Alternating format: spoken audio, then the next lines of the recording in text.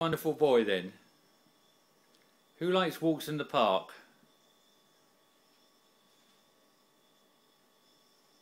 Who likes treats?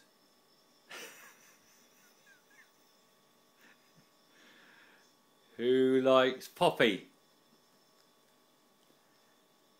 Who likes Olivia and Grace? Oh, What's a big wag?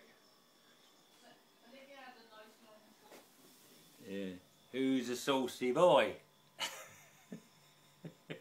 he's tired because he's been on the hill and in the park this morning, so he's had a really good day. Who likes long walks? Who's tired?